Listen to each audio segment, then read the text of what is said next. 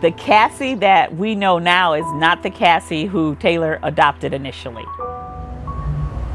Hi, babies. You guys are gonna be safe now. My mom was actually watching the news one night and saw a news story about the Wagmore and their rescue of 22 dogs from a trailer.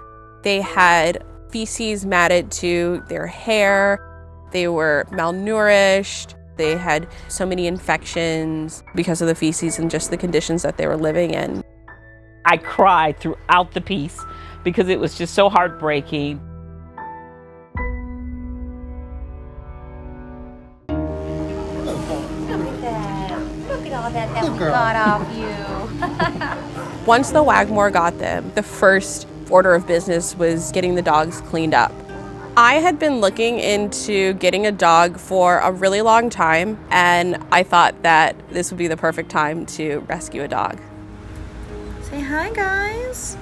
I started following Wagmore on Instagram. They posted some of the photos of the dogs. I was scrolling through the photos and I saw Cassie. She was so timid and a little shy. From what the rescue had described to us, they weren't sure that she had ever really been out of her crate or her surroundings to know how to do the things that dogs do. They said to Taylor, We're not sure if she's going to let you touch her and pick her up. Immediately, when Taylor outstretched her arms to Cassie, Cassie came to her.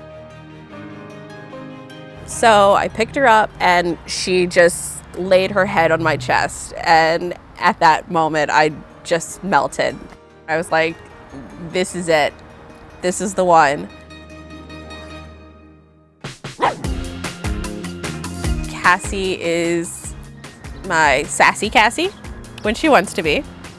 She likes to play with our dog. She runs, and she's got the cutest little prance when she runs.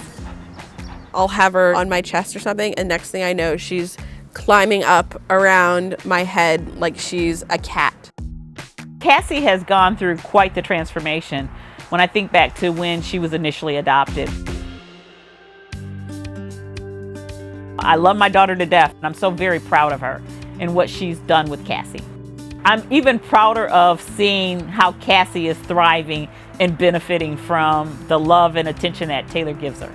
Bringing Cassie home really helped make my apartment feel complete. I wasn't adopting her to make myself feel good, but seeing that I was able to give her a home where she can feel safe and feel loved, that just made me feel absolutely wonderful.